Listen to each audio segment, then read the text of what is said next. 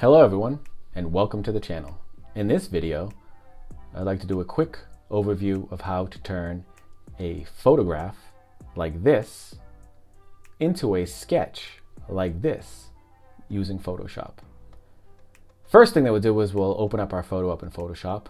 Uh, for the landscape portion of this, I decided to uh, sketch a photograph that I had taken in New Hampshire.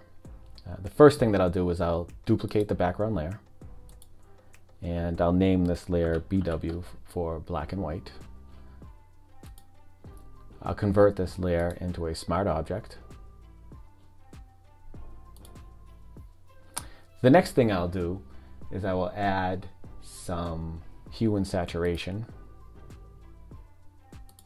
to this photo and then what I'll do is I'll change the saturation all the way down to negative 100. This will adjust anything below it to be black and white.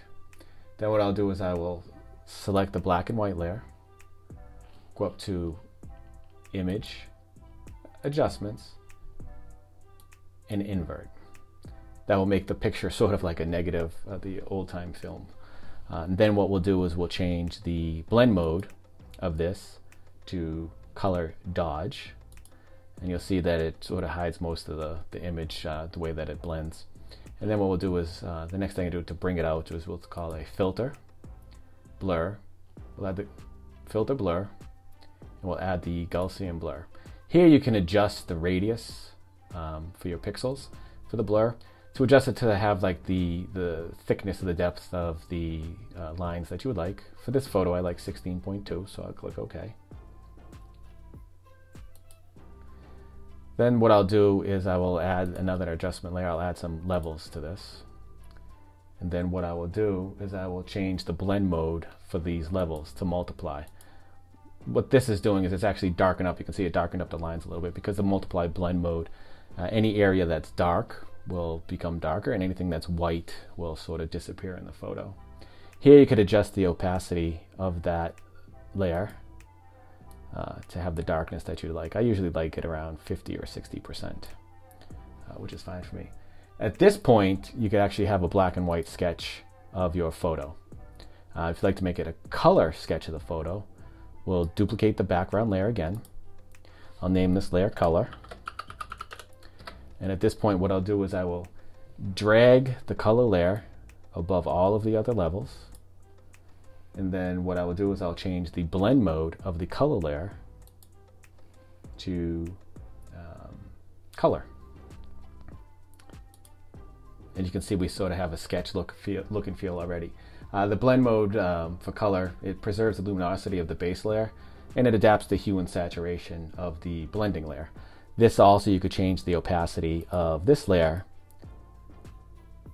to have the level that you like. And you can see how it changes. It will darken or lighten it. Uh, not only does this work with landscape photos, but it works with uh, portraits as well, which is really nice. So I have another image that I opened up, and this one I took a uh, photograph of a pop figure a while ago. What I'll do is I will, again, same as last time, duplicate the layer. We'll call this BW for black and white. What we'll do is I'll convert this to a smart object.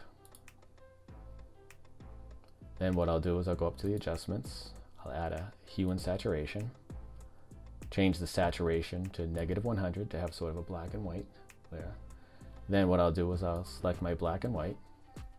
I'll go up to image, adjustments, invert.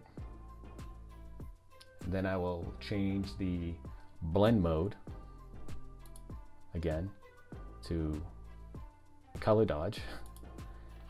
And then I, what I will do is I will change the filter, blur, Gaussian blur.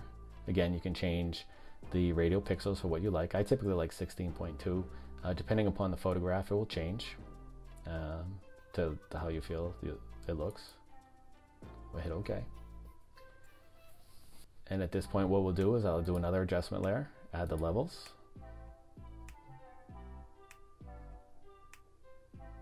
And I'll change the blend mode of this to multiply to darken it. Uh, drop the opacity of this down to, like I said, 50 or 60 or percent is what I typically like. Um, and it will lighten up the image, the image.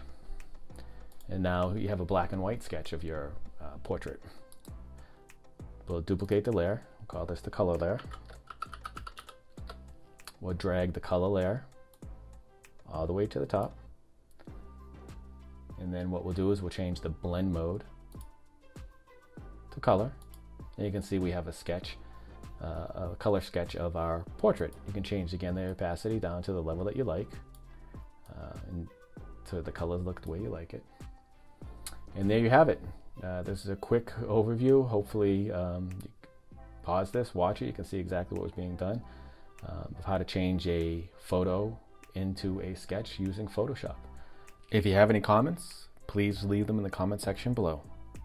And also, please like, subscribe, and don't forget to click on the notify bell to be notified of new videos. Thank you for watching.